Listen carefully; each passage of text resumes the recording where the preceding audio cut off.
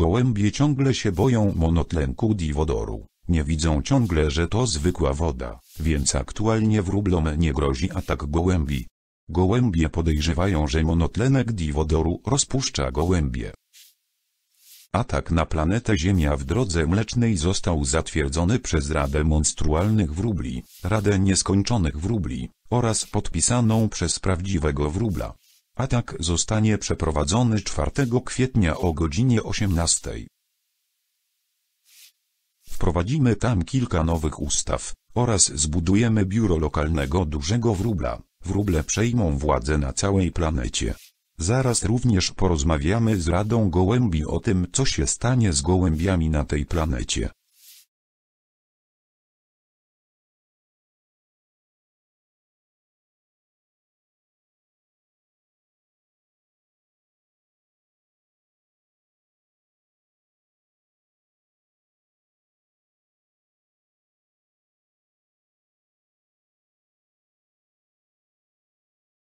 Ewer werfefrwgesktuj eso apfefefefefrefe ich gfckwcawk gfds.